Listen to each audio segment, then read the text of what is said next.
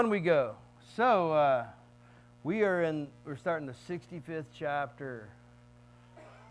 You know what that means, right? One more to go. Yep. What a ride this has been, huh? Well, I'll tell you what. It's it's a good chapter. And so is the last one. But here's the opening. What is the doctrine and danger of the me ministry?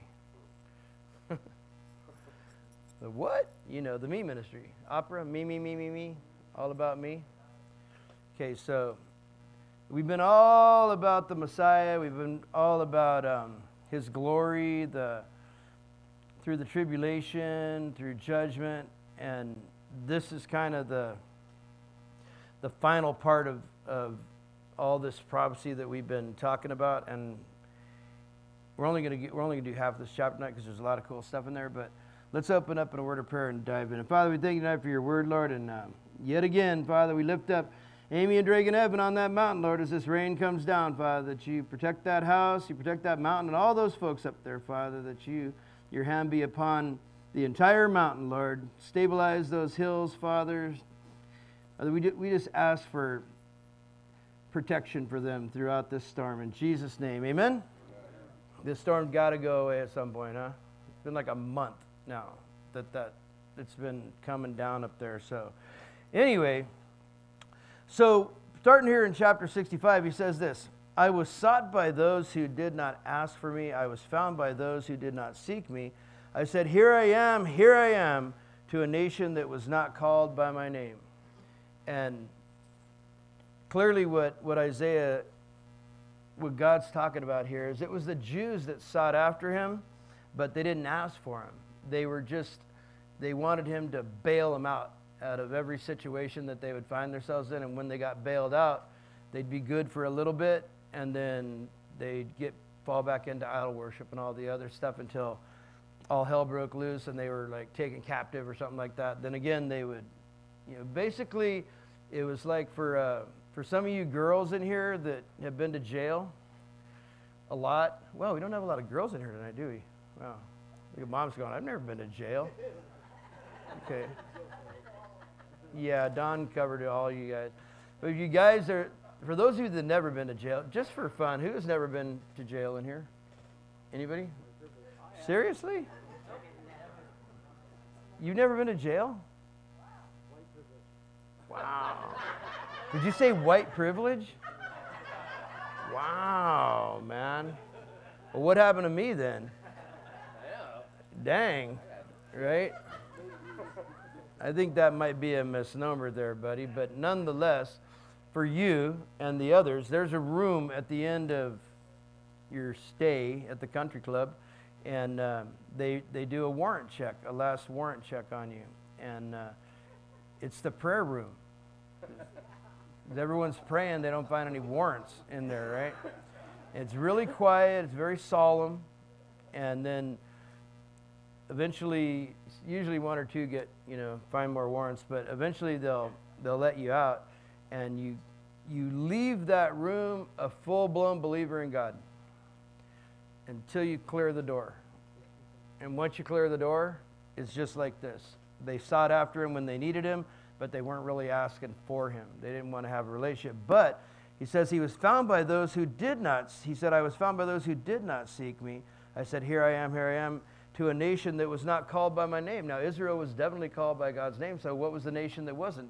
When we read, the, when we see the word nation, especially in terms of the Old Testament, it means everybody else but the Jews, the nations, which would be us. It would be the Gentiles that, that found him. They were seeking a bailout, we were seeking a Savior.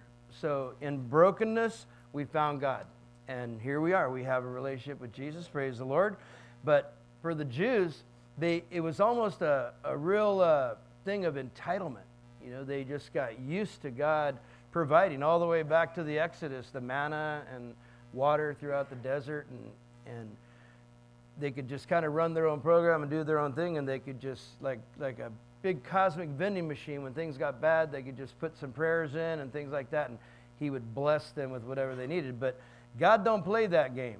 I mean, he'll, he'll, uh, he'll bless for a while, but eventually the hammer is going to come down. And I'm here to tell you right now, the hammer is hovering over America right now. it's just ready to come crashing down on a lot of goofy stuff that's going on. In fact, I'll share some of that goofy stuff here. Verse 2 says this I have stretched out my hand all day long to a rebellious people who walk in a way that is not good according to their own thoughts. Right out the gate there, those own thoughts will get you in trouble. Look at Proverbs 14 real quick. 14:12 goes like this. There's a way that seems right to a man, but its end is the way of death.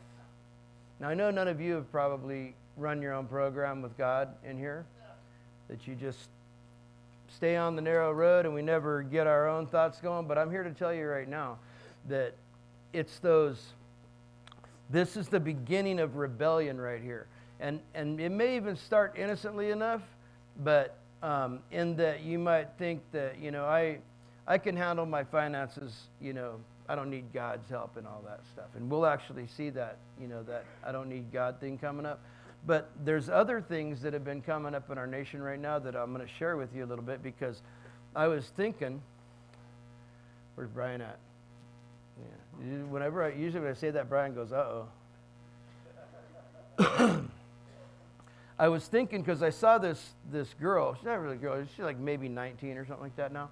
Anyway, um, back when she was 12 years old, some like woke nut convinced her that she could change who she is, who she was born, or she wanted to be a boy, basically. And at, at 12 or 13 years old, convinced her to take um, drugs that would uh, change the, like testosterone hormones, things like that, and removed her breasts at 12, 13 years old. And then in her late teens and early 20s, she changed her mind. And she wanted to be a girl again. But now she has a very deep voice and um, testosterone coursing through her body and, and missing parts. And she became suicidal and a few other horrible things and really struggling through. And this verse right here, verse 2, these, these people that walk in a way that's not good, I, I've had it up to my neck with this woke crap. Amen. I'm just professing right now these wingnuts that are out there trying to convince our children. Let me, let me go back and, and tell you this. When somebody is an adult, when they're 18, 19 years old, if they make a decision in their life, that's entirely up to them. Amen. But the attack on the children of our nation right now, to the, to the youngest ages, seven, eight years old, these agendas that are being forced upon them, these decisions of altering their bodies, they can't be taken back. Once the parts are gone, the parts are gone, okay? And these wing nuts just kind of fade off into whatever the rock they crawled out from under and leave these children and their parents and grandparents and everybody else to deal with the wreckage that they've created. And I ain't having it anymore. I'm just fed up to my neck with it right now. Again, if an adult makes a decision, they make the decision. But this is my, my idea. I'm going to put together a group of people, and I've talk, already talked to a couple of people about this, and we're going to create a little think tank. And what that think tank is about is to teach parents and grandparents how to talk to their kids again and not allow social media to be the only thing that is brought into their little minds to make these decisions when they're adults or these crazy, twisted, in my opinion, demonic people that are attacking the children of our nation.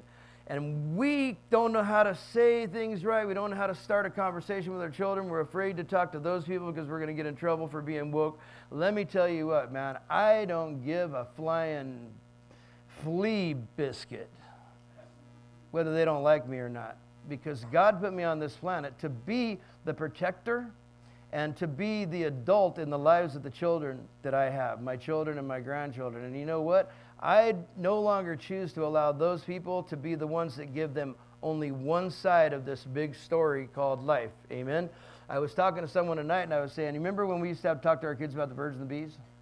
How dreaded that conversation was? We had to talk to them about sex. Uh, how benign is that now? I mean, it's like, oh, that that's like talking about going and getting a chili dog now compared to all the madness that's going on. But the problem is, a lot of parents don't know how to start the conversation without, without getting angry or being judgmental, and then the tension starts. And so, rather, they just don't have the conversation at all. And I feel like there's people in our circles that we know or will get to know, and there's resources that can help parents learn to have a conversation with their kids that develops trust and love and acceptance, all that they need so that they can have an actual conversation and give the children the other side of the story. So that when it's time to make the decisions they're going to make in life, they're not being based on one side of these people who walk in a way that is not good. Because I'm here to tell you right now if God made a boy a boy, some whack job doctor taking a pair of scissors and turning them into a girl is not good. It's not okay. They might think it's okay according to their thoughts, whatever their ideals are, or something like that. But let me tell you this what's going to happen in 10 years when they realize, you know, all that stuff I was telling those kids, that was wrong. I just want to publicly say I'm sorry. So, what happens to the thousands of kids now that are walking around? We ain't having it. Amen.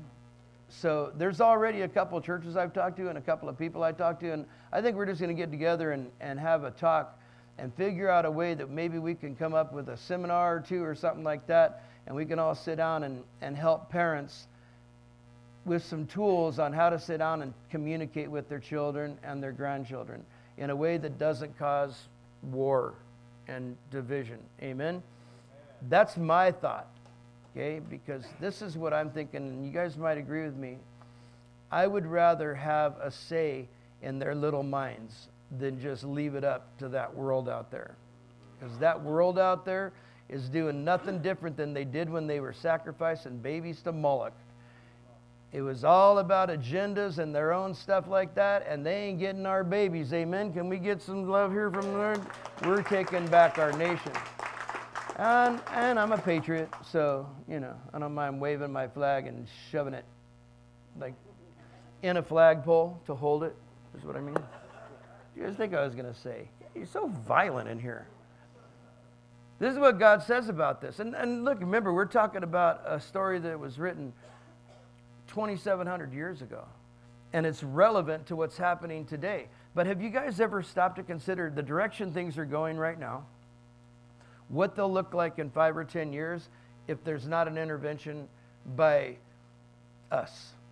And what I mean by us are, are us parents that have, that have a desire to see our children grow up and prosper and not have to be subject to whatever kind of bullying that is that brings this stuff on.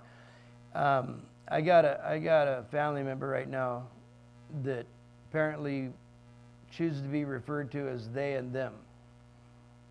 Young, very young, uh, preteen, you know, teenager, and I ain't gonna refer to them as they and them. First of all, I'm not gonna refer to any of my children or my grandchildren. In fact, I have their names tattooed on my wrist so I don't forget their names. It's, uh, it's helpful when you start getting older. And none of this woke mob is getting these names on my arms. These are the names that God gave me to give to my children. This, this they and them thing, just on a side note, doesn't that imply a problem right out the gate, though? I mean, aside from the pronoun thing, which I totally don't get, I don't understand it. But doesn't that imply multiple personality? They and them in reference to one person? Well, demonic, yeah, unless that, that extra person or that extra thing is a, a demon, maybe. But certainly, it's a, it's a clue, you guys. There's things going on here that I know it's like trendy or whatever people want to call it. I say it's demonic. I say it's from the pit of hell because what kind of a rational, normal adult would go to any child and say, let's take your parts off and shove a bunch of drugs down your throat that are going to change you from what you are to whoever you're going to end up being, to a teenager, a child? I feel like in my in my brain, that that's crossing boundaries of pedophilia. Definitely child abuse. What the hell are we doing sitting back letting it happen, you guys? There's there's way more of us in this country than there are of them. They want to do their thing, they can do their thing, but hands off our babies. Period. You know, the mama bears can be pretty brutal, but papa bears can be pretty brutal too when they get uptight. Me personally, I'm going to sell popcorn. I've seen mothers get, when the moms go crazy on them and, and all the fighting starts, I make a little money on the side. There's nothing wrong with that. I'll tithe on it, brother. Take it easy. This is what happens, though, verse 3 A people who provoke me to anger continually in my face, who sacrifice in gardens and burn incense on altars of brick. What all that is right there is a bunch of man made junk. All those gardens they're talking about right there those high places we've read about in Isaiah where they set up all the idols and they dance around all naked and get all crazy and drunk and stuff like that. And that altar of bricks is not an altar of God, it's an altar made by man. And, it, and the purpose of that altar of brick was a white brick, and it was to purge themselves. They were purging to an, a fake God. They weren't confessing and purging unto God. They weren't confessing their sins to Him and repenting. They were, they were running their own program the way they saw best, and then their lives were a mess and they were hell and they couldn't figure out what was going on. And when it got bad enough, they crawled back to God and said, Lord, bail us out. And as we get to the end here, you're going to see. Uh, some real serious separation going on. But he goes further to point out what they do. They sit among the graves and spend the night in the tombs. They eat who eat swine's flesh and the broth of abominable things in their vessels. So what he's saying here is they're violating these laws of touching dead things. They're purposefully going against. I mean, this is stuff here that's already like yuck. Who wants to go hang out with a corpse, man? dig around in graveyards and, you know, squeeze half dried out eyeballs or whatever the heck it is they're doing for fun. They're doing it just to be openly opposed to God's word. And he says they eat they eat the swine's flesh. Another another law purposefully opposing God saying, "You know what? We're going to eat this pig. We don't care what your word says. We're running our own program." We don't even need you, which you're going to see here in a second. And this last one's pretty gnarly the broth of abominable things in their vessels. That was the drinking of blood mixed with hard drink or some kind of alcoholic beverage in the midst of their dancing around the fires and calling out to their false gods. None of this stuff was done necessarily, maybe by maybe some by a belief. It was all done to in your face to God. He even said it right there. These people provoke me to anger continually to my face. Any any of you ever have a rebellious child? Yeah? You got a, one or two? Four? Yeah? And they just want to get up in your face and cause problem, man. Remember, remember when our kids first started to learn to talk and the only word they knew was no? No matter what it was, go to your room, no. Eat your dinner, no. Oh my God. Well, then, then why came in? Why? Why is, is the sky is blue? Why? Because it's blue. I don't know. Why? Oh, God. Okay, that's just a child being a child. This is openly being antagonistically rebellious towards God. Not just rebellious, but going out of the way to be rebellious and to, to push the envelope of the norm or to push the envelope of morality, push the envelopes, any envelope. And we're seeing that right now in 2023 America. Groups are pushing every envelope they can, seemingly for no other reason than just to do it. And unfortunately, we've all been trained up just to keep our mouth shut. Don't rock the boat, man. Don't want to cause any problem. Don't want to insult anybody. Well, I'm here to tell you I'm insulted. I don't know about the rest of you, but I'm pretty much sick and tired of all this madness right here. They've kind of had their 15 minutes of fame or whatever. Well, now it's time for us to take our country back again. We need America and we need God, the number one focus of our nation right now. All this craziness, they can be crazy. It's the land of the free. You want to be crazy, go be crazy in the desert or something. I don't care, wherever you want to go. But not around our children. That's where the line has to get drawn in the sand. Amen.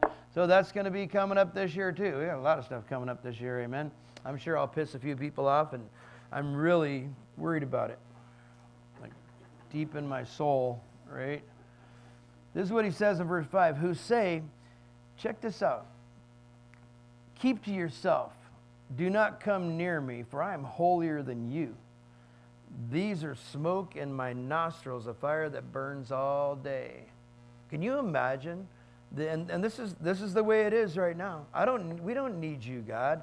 We've got this stuff all worked out ourselves. You just keep it to yourself. You stay over there and I'll stay over here until I need you. Then I'll come calling. Until then, don't bother me.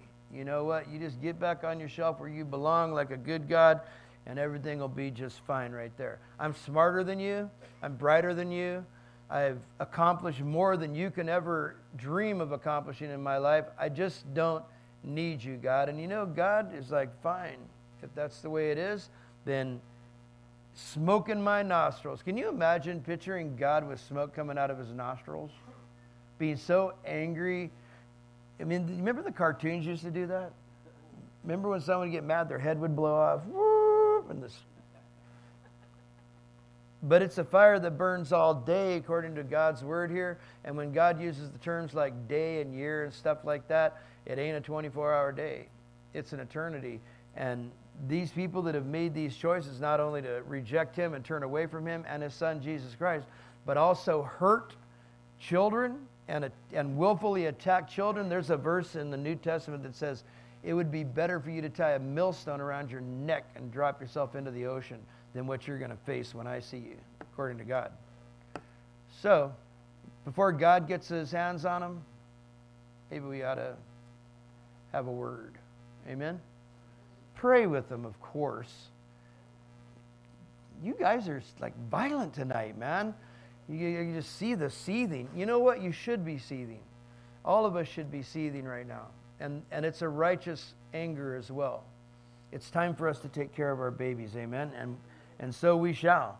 But these people are going, everything we're doing ain't none of your business, God. You don't even worry about the stuff that I'm doing. Don't worry about the stuff that I'm pulling over there. Don't worry about those that I'm leading away from you over there. I'm holier than you. I'm above you. I've transcended you, God. Boy, are they going to be in for a big surprise, aren't they? A big, long, hot surprise is what they're going to be in for. He says, Behold, it is written before me, I will not keep silent, but I will repay, even repay into their bosom. I love that part right there because you remember we were talking over here? He said they're, they're continual in his face. This is the same thing right there in your bosom. He's talking about my, my, the repaying when, when he decides to not be silent and he acts upon his righteousness it's going to be right in their face. It, it's not going to be from over there somewhere. It won't be by an email. You won't find it on Snapchat or Instagram or something like that. It'll be them and God Almighty standing alone. Then we'll see how much bigger they think he, how much holier they feel that they are when they encounter the God of all creation face to face in their bosom. I wouldn't want to be there. The Bible also tells us that it's a, it's a, what's the word they used? it's a bigger word, but it's a bad thing to fall into the fierceness and rage of God. It's not a good thing at all. He says, Your iniquities and the iniquities of your fathers together, says the Lord, who have burned incense on the mountains and blasphemed me on the hills. Therefore, I will measure their former work into their bosom as well. That generational curse right there. I'm a grandfather. So, the, the curse of drug abuse and that lifestyle that I led was going right down the family tree. My boys, my grandsons, even my granddaughters. But God showed up in 1995 and He changed all that, man. Just by giving my life to Christ and turning my life over to Him, He broke that generational curse in my family. And that curse is over. The, the things that I did, neither one of my boys have ever even kind of done the things that I did nor my grandchildren as well. This, on the other hand, are those that choose to turn their back or to lead their children into these things, to willfully guide them along, or just not participate and, and let the world raise their children. The internet, social media. Have you ever seen some of the stuff that's on social media? Is that really what you want raising your children and your grandchildren?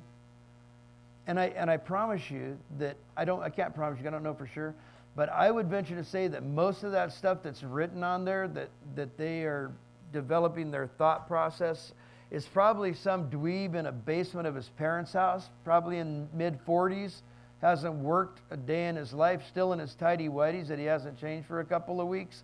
And he's the one sitting there typing all this stuff, giggling to his goofy self as he hits send and wondering to himself in all kinds of glee, I wonder who's going to fall for this junk. And then someone on the other end of that stuff reads it and takes it seriously as something that they really need to do and consider. We cannot have these people being the last word that goes into our children's brains. Amen.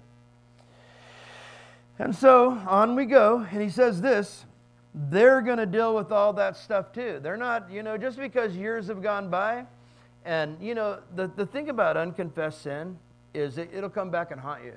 I don't know if you guys know that or not. Unconfessed and unrepentant sin will come back and haunt you. Even, even sin that you've repented of, that you've turned away from, like, okay, I'm not doing that no more. The step of confession is still important. We still need to get before God and confess and get right with Him. We can go on away from the stuff that we were doing and all that, but there's still a reckoning that has to take place. We need to, we need to do it all in one shot. When this crazy stuff that you're into right now, whatever it might be, we, when we bring that to God, we confess it to Him. He already knows what we're doing, so you know it's not that He doesn't.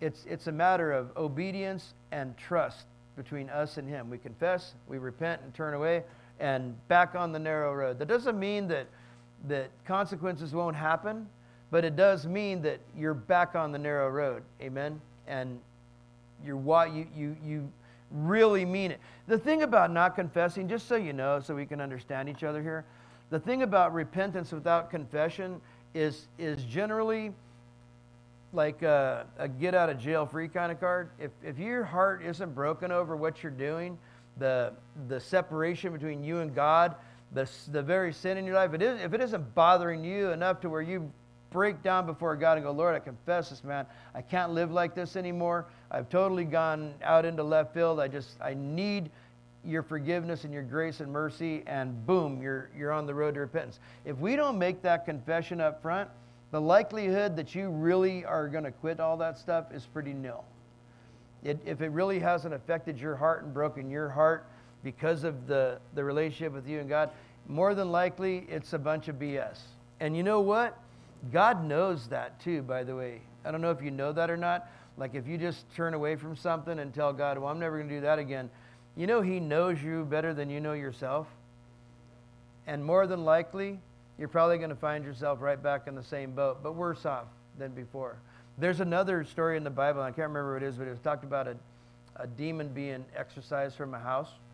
And because the house wasn't consecrated and, and given unto God for God's purpose, the demon went out roaming around looking for somewhere to live, and he ended up coming all the way back around to the house that he was cast out of, but with seven other worse than himself, came storming into that house right there. Without that seal of confession, man, without that, that commitment between you and God, the door's still wide open, man. And what might be pretty bad in your life right now can be a whole lot worse, man. We got to get right with God. I mean, you just, at some point, we got to quit playing games and get right with God and get moving. I don't know why, why we take so much time to get there because life is so much better with God in it than it is when we're trying to run our own program. Amen? Anybody running their own program right now? No one ever raised their hand for that one. You know, like oh, I am. I got it going on. Everybody does to some degree. You know, I wish I wish we could all be just perfect and we could just commit every bit of our life to God, but man, sometimes not because we don't love him or we don't trust him, but sometimes we just struggle with that belief, man. Not that we don't believe in him, it's just that unbelief. You know, I don't know man, hand handing, you know, putting my kids over to the care of God, that's asking a lot, man. Or my money. Sometimes that's worse than the kids. Now, you can have the kids. Shoot. And the neighbor's kids, too, while you're at it. But my money, you, I better manage that, Lord, you know. I, I know the bills I have to pay and this and that, and the goofy things we tell ourselves, right? But the second that we do, the second we turn these areas over to God in our lives, the blessings come pouring out, man. The peace just comes flooding out of us. Immediately, we feel the presence of God in that area, and we all go, Why didn't I do this 20 years ago, man? Uh, welcome to humanity, right? Thus says the Lord, as the new wine is found in the cluster, and one says, Do not destroy it, for a blessing is in it, so will I do for my servant's sake, that I may not destroy them all.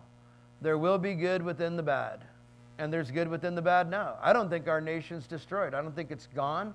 I think there's lots of hope for America, man.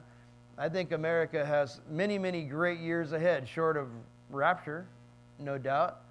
But I think also that we're in a battle right now. And I don't think it's just a, a woke versus the non woke thing. I do believe it's a spiritual battle right now. It has all the earmarks of demonic activity and angelic activity, has all the earmarks of of that spiritual battle and principalities and powers of the air that we can't see. So that means that we should just stay out of it, right? No. That means we should put on our armor, cinch it up, and get busy. Get in the stinking fight, man. You're men and women of God. You're a holy priesthood, a royal nation, man. You're warriors of a king. You are, you are servants of the Most High King. In fact, you, you serve in the army of the Lord of hosts. You know who that is? Jesus Christ Himself. He commands the armies of heaven and He goes, Hey, you want to be part of this? Come on. You're covered by the blood too. So maybe it's time for us to get off the sidelines a little bit here and lead the charge. They're doing it back east in these colleges where they're doing these revivals. You see how that all turned out? One college turned into like what, 20 colleges, or something like that? What if a bunch of, of men and women of America decided we're not having this crap anymore with you doing this freaky deaky stuff to our kids, and everybody just stood up with one voice and said, No more. What do you think is going to happen then? No more. That's what's going to happen. Amen? So, God's got a plan. I don't know what it is, man, but you know, when, uh, when He puts these little things in my head there, uh, they usually turn into something. Maybe a trip up a frozen mountain road, but nonetheless, Look at Brian over there going, Yeah, let's not do that again anytime too soon. We had fun, and you know we did. There's always going to be good amongst the bad. When we look at our country right now and the shape that it's in spiritually and economically and things like that, you could just paint it all with one big brush and say, Man, America sucks now. Borders out of control, the drugs are flooding in. There's just a madhouse in Washington and you know what? God looks at all that and He says, Yeah, there's some problems in, in that cluster of grapes, but there's a lot of good in there too, man. And you know what? I want to be part of the good grapes in there. And I want you all to be part of the good grapes there. And then my desire is that it goes right outside that door and spreads right across the country until eventually the cluster of rotten, nasty grapes isn't really that big anymore. And it's surrounded by good, beautiful, plump, juicy grapes. Amen that can be used by God Almighty, and we can have our country back. He says, I will bring forth descendants from Jacob and from Judah, an heir of my mountains. My elect shall inherit it, and my servants shall dwell there. Sharon shall be a fold of flocks, and the valley of Achor a place for herds to lie down. And that's a bunch of cool stuff right there because you remember back, well, probably don't, it's been a long time ago, we talked about Sharon. The, the, the name is Sharon. And and it means beautiful place or flower. And it's a, it's a, a strip of land between the Mediterranean and the Holy Land. It's very fertile for, for growing like vineyards and herds and things like that. It's, it's like choice land, kind of like our Napa Valley, kind of very similar to that. It's a real flat, really fertile ground to grow in. And he says this is going to be there for you guys. And that Valley of Achor is really an interesting one there because that got its name way back in the time of Joshua when he got his butt kicked in Ai. And, and God said, Hey, man, you got some people here that are messing up, man. They took some treasure for themselves. Achan, remember that dude?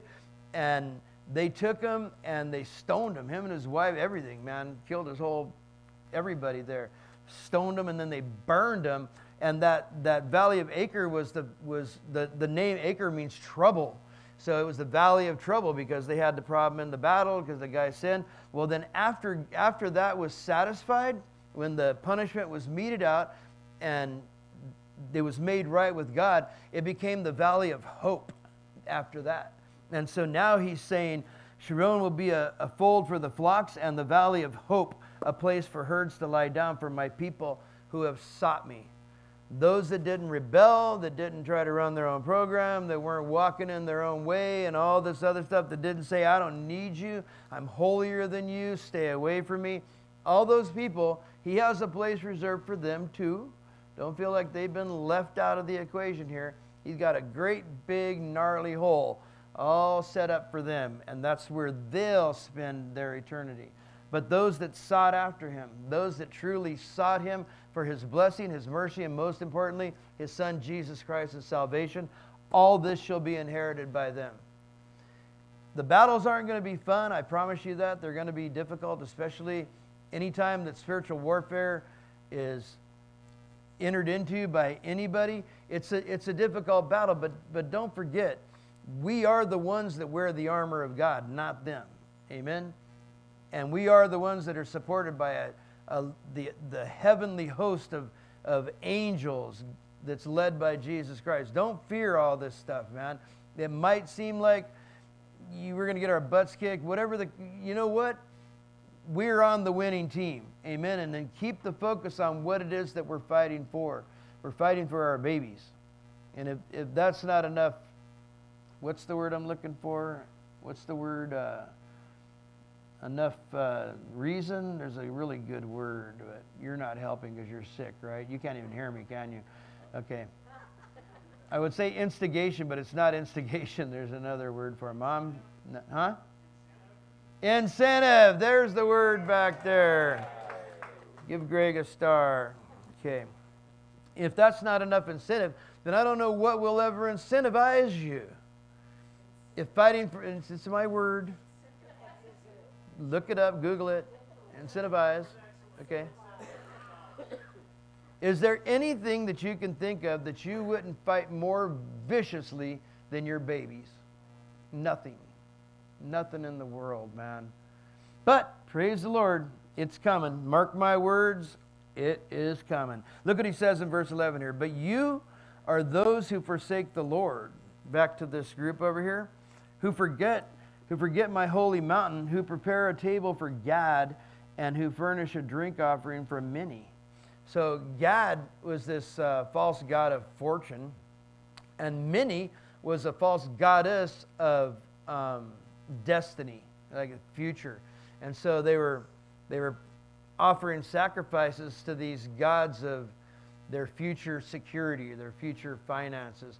They were it was kind of the last straw that they had pushed away from God for everything. They rejected Him on every level. Then they antagonized Him by purposefully breaking His laws in His face, openly out in public so everyone could see. And then they offered sacrifices to these false gods rather than going to God for their hope of a future and prosperity and, and a life.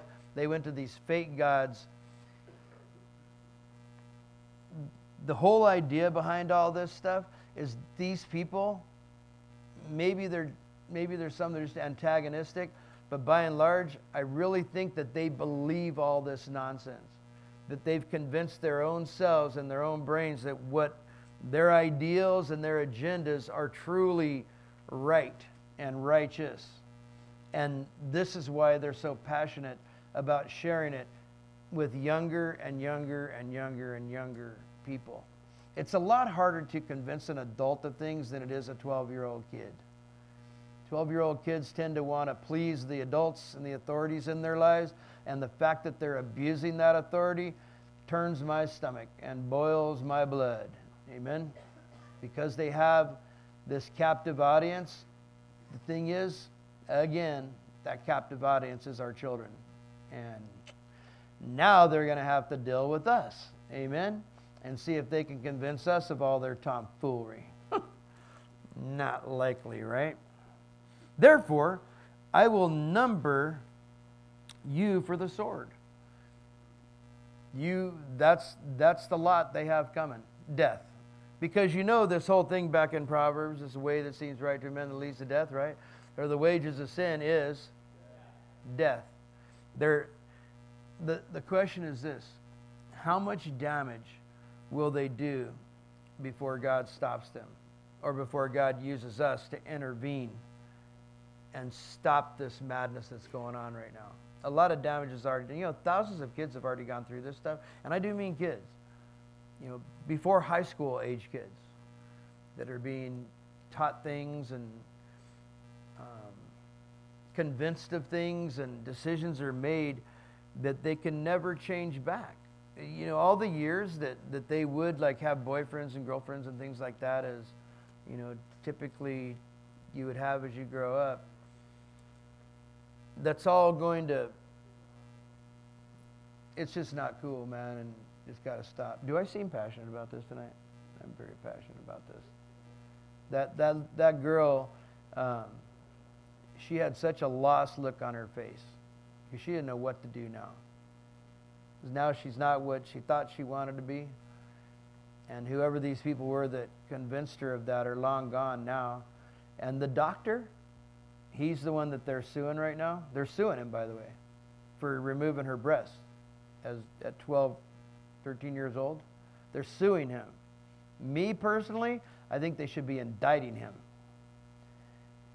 He should already be in handcuffs right now and under arrest for child abuse, uh, child endangerment, any number of things. If I if I took a knife and chopped off one of his boobies, I would go to jail for that.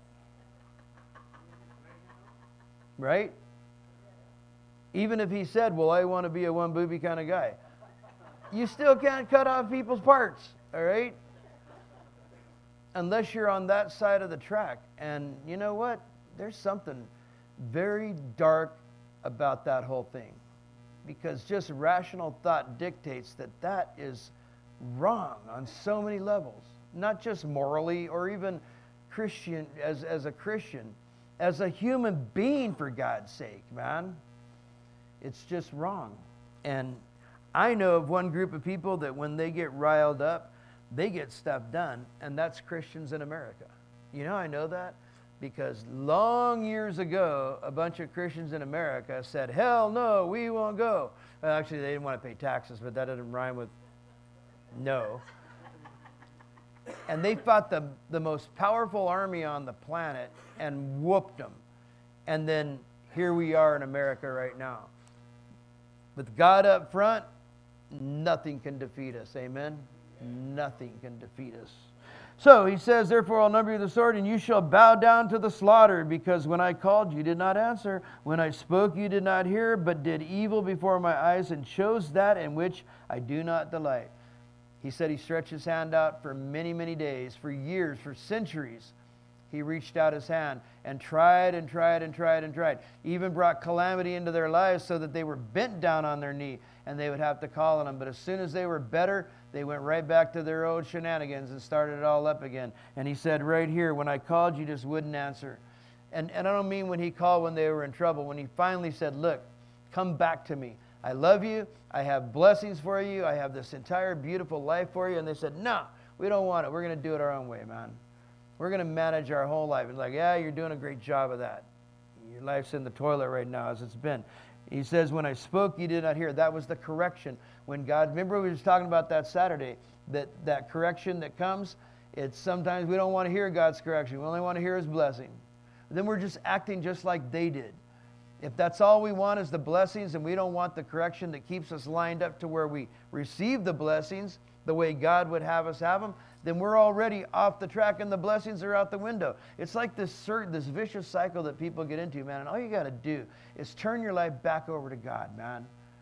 Just stop what you're doing, man. Get with Him, confess with Him, talk to Him about it. Go, Lord, I got to get back on the track, man. I've just been doing this, I've been doing that. I've convinced myself that it's okay. You, you understand because God knows my heart. It's just a little bit of money. It ain't that big of a deal. Surely, you know, this person is the one that you've sent to me in my life. So I don't really see why we got to wait till we get married. Then the blessings are gone. Just like that, man. And we convince ourselves of all this goofiness, man. And God constantly is trying to bring us back and bring us back till we finally crash and burn. And hopefully, at that point, we can confess our stuff, repent of it, and get walking right with Him, man. It's just, I know it seems oversimplistic, but you know what? God designed it that way. You know why God designed it simple like that? Because we're simple minded. We're simple minded and we're narrow minded and we're also single minded. And a lot of times that single minded takes us back to our get it question, our opener. What's the doctrine and the danger of the me ministry? When that's all we think about is me, what I want, my desires, the things that I want in my life. Man, what if we just stop for just a second and ask God what He wanted in our life? I, I promise you this it'll be way better than anything we come up with on our own. It's always better. But welcome to humanity, right? When I spoke, you did not hear, but did evil before my eyes and chose that in which I did not delight. You knew what you were doing was wrong, and that's the thing about sin, you guys, and, and that brings us up to our time frame right now. We know what we're doing wrong, don't we? It's not, oh, she's not here. It's not ambiguous. I don't have to worry about how I say that word tonight. Not even here. We know the difference between right and wrong, right? We know when we're blowing it. We know when we're stepping outside of His will. We know because it feels good to sin. That's why we sin. That's the crazy thing about it. Satan's, Satan's got it worked out where sin is fun, it's addictive. You might do it one time, like I'm going to do one time, man. One little go, woohoo, and that's it. And you know what? That flesh says, uh uh I need more of that. And I need more, and I need more, and I need more. And you get into this, this place where you're insatiable. You can't get enough of whatever it is. And that's the nature of sin. And then you'll be willing to give up everything in your life for that stupid thing that you don't even like anymore. It, it becomes detestable to you and exhausting trying to manage it and run through circles and hide and do all this other stuff to the point where you just can't even move forward anymore. That's the point where we break down before God and just say, okay, enough of this, man. I got to come back to you, Lord. It's, you can do it tonight. You can stop whatever it is that's going on in your life. But that's your choice. So here's the get it's tonight. Why do you suppose some Christians don't don't seek dad or ask for him? Boy, I wrote that wrong. Why do you suppose some Christians don't seek God, don't seek dad or ask for him? Okay, well, however I wrote that, mm. yeah, something's wrong there. But the point is, because they don't want him around, man. Do you guys do you guys want God around when you're doing a bunch of drugs and stuff? Getting drunk? You, in, you guys invite God to that motel room? Like, just set up a chair for God and go, okay, Lord, you're there. We're going to be over there on the bed. We got the camera set up over there. So turn on the radio. We're going to get jiggy. We don't invite God to that stuff, right? I know. I've, look at Brian's like, what's jiggy? Google jiggy, Will Smith somewhere in the 80s, Fresh Prince of Bel Air, I don't know. Point being, that's why, that's why some Christians don't seek dad. They don't want him involved in that stuff. Why don't they want God involved in that stuff? Well, because they know it's not okay. It's problematic. It's going to bring trouble into your life. You're going to be in the valley of Achor. That's where you're going to live in this beat up old busted valley right there. So it's better just to not invite him or not, not have anything to do with God, right? I mean, it's better than to have God showing up every time you're doing something funky, right? Let's just avoid God altogether. We don't even need a building anymore. We don't even need a church. We can just go out there and live like hell until we end up spending eternity there.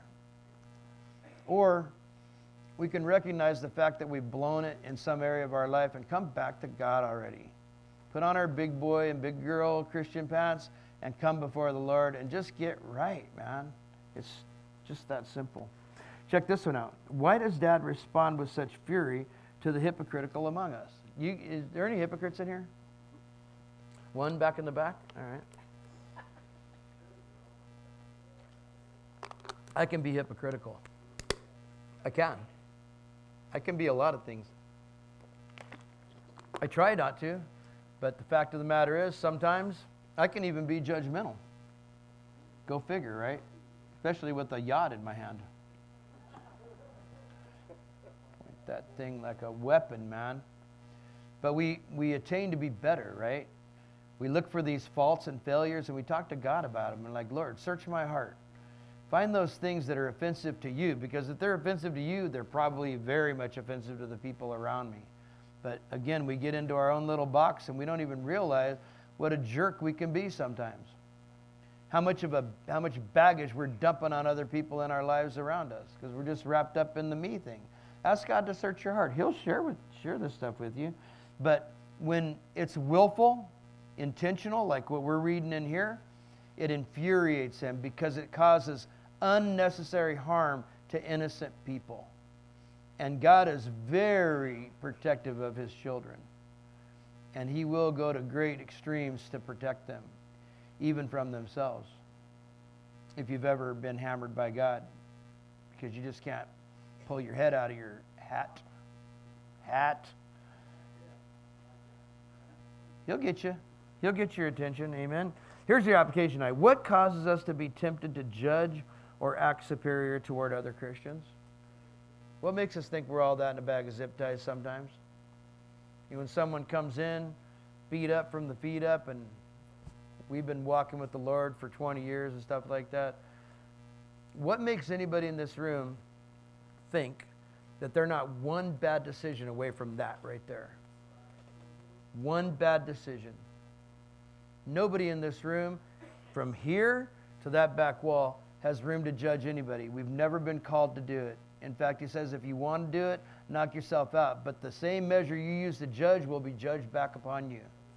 So if you don't want it, don't deal it out. Well, what the heck are we supposed to do then? You love them. You pray with them, man. You help them find their way to the cross. That's what you do, man. And then you let God have them and take them and do whatever He's going to do with them, man. And you say, Praise the Lord, go with God, and move on out the door and look for the next one down there. Not very complicated there either, is it? But sometimes we just feel like we are really something special, don't we? Maybe someone will come for advice or something like that, or they come to confess. Maybe someone's got something going on in their life that has got to confess it to someone and, and pray. And man, you just come down with both barrels on them. Be careful, man, because unless you're going to be walking on water for the rest of your life, something's going to come along your way, and you're going to get that same treatment somewhere down the road. But maybe worse, even. Way better to err on the side of love, brother and sister. Love and compassion and mercy, just like He's shown us. All we got to do is be Christians, Christ like, right? When Christ looked upon you, were you something special and shiny? Heck no, man, neither was I. But He didn't reject us. In fact, He went to a cross for us, He gave His very life for us because we are a bunch of stinking sinners. And you know what? He's done great things with a lot of you in this room that I know personally. Amazing things. I've known some of you before Christ, even. I've known some of you after Christ that are way less violent now, for instance. I didn't point, did I just point at you, Cheryl? I didn't mean to point at you. That was, oh, it was like a thing. It just, like a spring right there. But I'm not pointing any fingers. I've watched God change lives in here, man. Um, miraculous stuff, amazing things. I've watched people go through some of the, the hardest things that you can go through in life. And I've watched God just snuggle up with them and love them right through it, man. And make them whole again on the other side of it. God's pretty amazing, man. I think I'm going to hang out with him for the rest of my life. What do you guys think?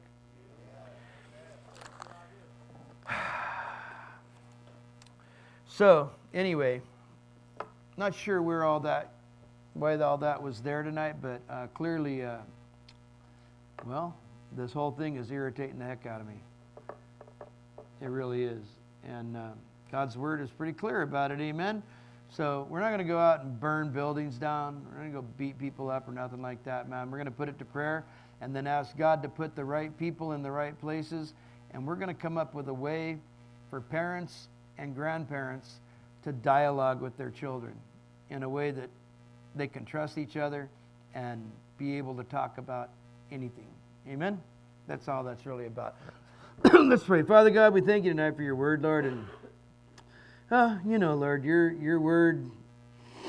Your word always lands just the right spot every single time, Lord. And we thank you for your Holy Spirit being here tonight, Lord. And we do lift up these things that we discuss tonight, Lord. They are problems in our nation, Lord, within our communities, Father. And Lord, we ask you for wisdom and knowledge and grace and mercy and compassion, all that we're going to need, Father, as we move forward and we, we just find our way through, Lord. We ask that you be the light that leads this way, Father. But Lord, our desire first tonight is that everyone knows your Son is Savior, your Son Jesus Christ, Lord. And as we pray together as a family, we, we, Lord, I pray your Holy Spirit has touched hearts tonight here, maybe out there in TV land, Lord, and that somebody in here, maybe a few people, feel that need to know Jesus for the very first time. And maybe there's somebody or a few people that realize they've just kind of stepped off a little bit too far, and tonight they need to come back home and they need to dump a lot of junk here and leave it at your throne, leave it at your altar. So tonight, Lord, whatever's going on in the hearts and minds of everyone here, Lord, I ask that you tend to each and every one of us tonight uniquely in your own loving, powerful, merciful way, Lord. We love you tonight in Jesus' name. Let's all pray. Father God, I sinned against you, Lord, and I ask you to forgive me of my sin. And Jesus, I invite you into my heart to be the Lord and Savior of my life. Fill me with your Holy Spirit and put me on that road that you'll have me travel in Jesus' name. Amen. Amen. Amen. So, sorry I got off on a little bit of a rant there, but something uh, we needed to talk about. So, I will see you when? Saturday? Saturday for church? Or when's the sheep shearing? Yeah, that, I'll see him Saturday. For do you need a shave or something? Okay, all right. Okay, until then, keep your eyes on Jesus. Amen. God bless you. Amen.